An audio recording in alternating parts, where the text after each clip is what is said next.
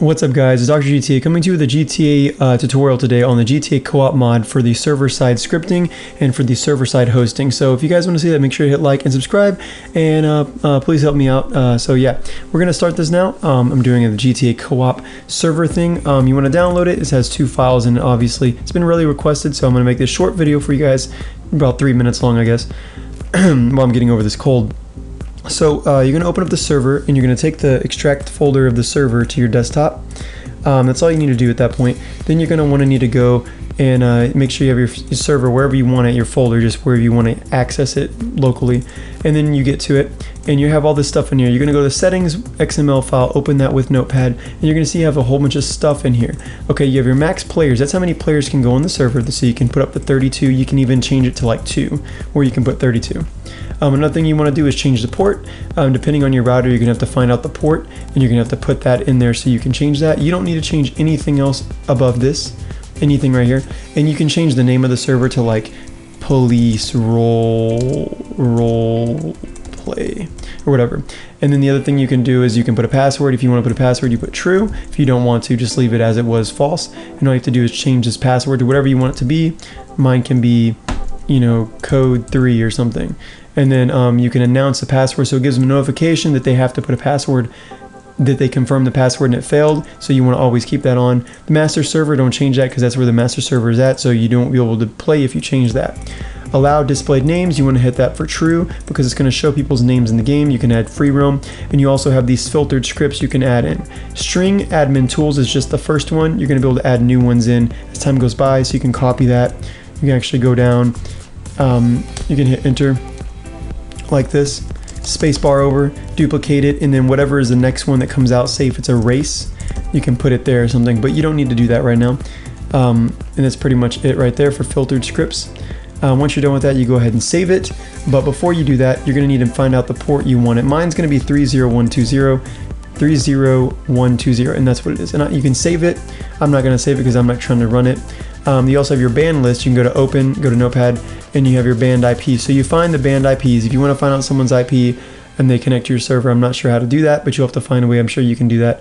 You're going to put their IPs right here. So like say mine would be like, for an example, this is not my IP, but that's what you put. And you hit spacebar and then you hit enter another one. Like that and stuff like that. And that's pretty much what I gotta do and save that and it'll work. Um, the other thing you wanna do is use your admin tools. You don't need to do that. Accounts, you go open with that notepad. Um, you don't need to do any of that that's it's okay to find. Uh, game modes, there's a race in here for game modes. So anytime you have anything you want to install, you can install filter scripts. I hear when they do updates for filter scripts for new game modes and stuff, you put them in here, and that's pretty much all you gotta do. Then you right click run this as admin. It's gonna give you this firewall thing. You need to make sure you allow it to be on private network, check it, and allow access. If you don't, you will not have your um, thing working. Also, and you're going to say when you first load this up, it's going to say filtered could not load file assembly. Oh my God. So it's not working. So what you're to do is exit out. You're going to go back to the admin tools, go to properties, right click, unblock it, apply OK.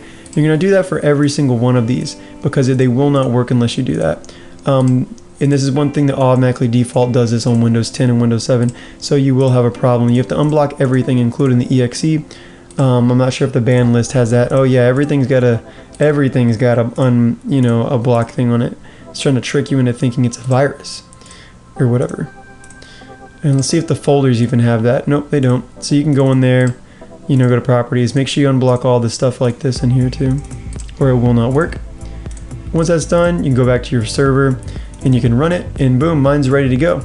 Um, sometimes if you have a problem, like say your your port should change depending on how you set it up in the settings, but um, it should change. If it doesn't, it it's probably if it won't let you like in the server it won't let you get into your server, you want to make sure that port whatever is right here is uh, loaded up. And I mean by that you have to go to your um, you want to go to your actual uh, router. So I'm going to go to my router and log into it. So you want to go directly to your router. Once you get into it, you want to go down to virtual servers and you're going to go in there. Once you get in there, you're going to have port C. Mine has FiveM set up for inbound port forwarding for 30120. That's why I set it up because it doesn't matter the name. It just matters that that inbound port is set up for TCP and UDP and it's set up to your IP address. So whatever your IP address and then your private port. So you want the same thing for the inbound and the private and then you want your IP address. Typically it's 192.168.2 and then it's going to have a 2.0. If you want to find that out, you just enter command cmd and then run it. And when you want, get in this black screen, go IP config. It's going to show up all this stuff. It's going to be IPv4 address. It's going to be the IPv4 address. So mine is 192.168.2.20.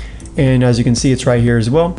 And then make sure that's set. Make sure this is set TCP UDP. You can name this, you know, fuck off or whatever you want. And just hit apply changes, restart your router, and that should fix your problem. It's pretty much all you gotta do for this. And then it should load, and you should be able to go in your server. Once you get this up, you wanna keep this running in the background. And then you wanna go load into your game and go hit F9 and go load into the server. Your server might need to refresh. It might need up to two minutes to, to load in, depending on how fast your internet speed is. I recommend a really fast internet speed because the sync and everything's still in beta. Also recommend you guys leave your passwords unlocked because I want everyone to test this out. If there's not a there's all these locked servers no one's going to play. We want everybody to test and, and, develop this mod. I want this mod to go as far as it can. I want Ragehook to be able to use this mod. That's my main purpose for this video. It's the only reason I'm making it. So please, if you do um, have any testing feedback or anything, relay it to the website and help everybody in this uh, GTA 5 co-op mod. I want this to be successful and I want everyone to update this and improve it so we can actually play rate with LSPDFR online.